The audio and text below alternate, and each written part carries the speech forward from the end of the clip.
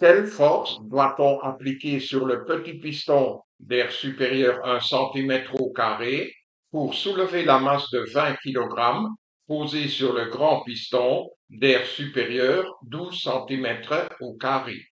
Appelons la situation à gauche situation 1 et celle à droite situation 2.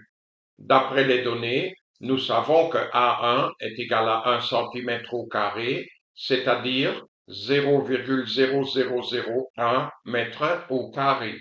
Nous savons également que la masse 2 est égale à 20 kg et que l'air 2 est égal à 12 cm au carré, c'est-à-dire 0,0012 mètres au.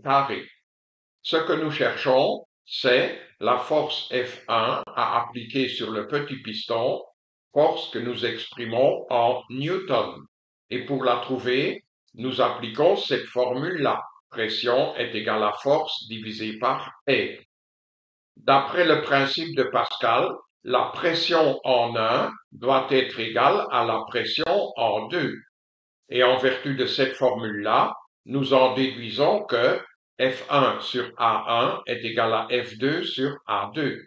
Et par conséquent, F1 est égal à F2 fois A1 sur A2 mais la force 2 correspond au poids de cette masse. Et le poids se calcule par masse fois facteur de poids, petit g, qui vaut 9,81 newtons par kilogramme.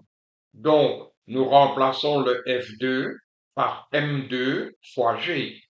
Et maintenant, il suffit d'insérer ces valeurs dans ce calcul et c'est ainsi que nous obtenons que la force F1 est égale à 16,35 newtons. La réponse finale à la question posée, c'est donc l'intensité de la force F1 est égale à 16,35 newtons.